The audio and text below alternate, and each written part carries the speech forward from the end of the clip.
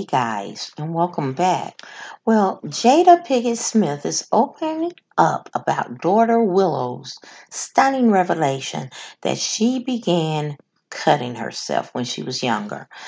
Now, uh, Jada Pinkett, the actress, 47, spoke out about the moment while speaking with the hosts of the Moms podcast, Denise Albert and Melissa Musen Gerstein, at the Wheelhouse in New York City on Tuesday for the launch of Red Table Talks returns on Facebook Watch, where she was introduced to mom business owners and entrepreneurs. Now, um, Jada Smith, who was accompanied by her mother, Adrienne Banfield Jones, revealed she and Willow, 17, had talked about the moment after the teen admitted on Red Table Talks she had been self harming herself after achieving success with her 2010 single Whip My Hair.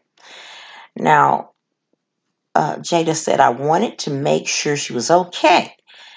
We went through what happened, and in the moment, I realized as a mother, you also have to give your children space to deal with their own shadow. Now, there's lots of things that my mother didn't know about me that she's just finding out about me, she added. Our kids don't want to burden us. that, that's true. Now, the girls' trips. Now, the girls' trip star uh, said she chose to pay attention to the positive thing that came from Willow's revelation.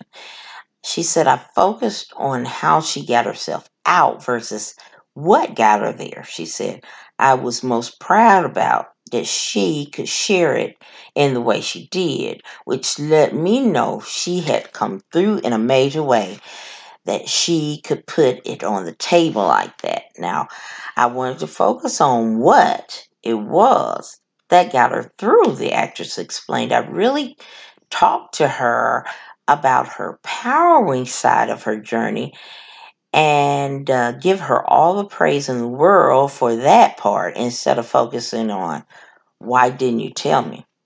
Hmm.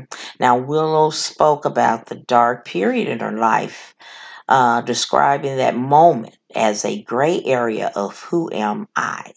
Do I have a purpose? Is there anything I can do besides this?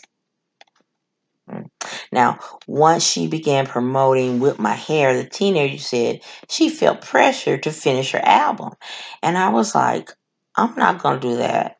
And after all of that kind of settled down, that is when it was like full lull. I was just listening to a lot of dark music, Willow said. It was just so crazy. And I was plunged into this black hole and I was cutting myself I mean, you can't even see it, but there's still a little something there, she added while speaking about the slight mark on her wrist. But like, totally lost my sanity for a moment there. I never talked about it because it was such a short, weird point in my life. But you have to pull yourself out of it. Hmm. Now that is that is a great story. Um, you know, because, um, you know, people think that that doesn't happen in the black community, but this is a part of uh, our mental health. This is a part of our mental health. When we get to that point, which uh, can be depression, anxiety, uh, some other mental forms. So, uh, you know, it's good to hear that Willow came out of it herself, but well, you know, um, I, I, I, you know, I applaud uh, uh, Jada and uh, Willow for sharing their story, but you know, I, um, you know, I don't agree with just that. I mean, hey, you're cutting yourself and then you're okay. I mean, it may be, she may be okay. But I was surprised. Um, I didn't hear anything about Jada uh, taking her to be evaluated or taking her to the doctor because I mean that's serious. She cut herself, and just because I mean this is like if your child pass out and come back a come back and say, well, I don't know what that was. You're going to follow up on that. That's a medical condition. And this is a mental condition. And I'm you know, sorry, but you know, for her to just say, "Oh, she came out of herself," you don't know that, and I would thought that she would uh, have some follow up evaluation. So I'm gonna let you know that's if you're in that dark place, uh, you you and cutting yourself or whatever, uh, you know, don't take this for rule of thumb. You you talk with someone, talk to your doctor, talk uh, because it may be a, you know.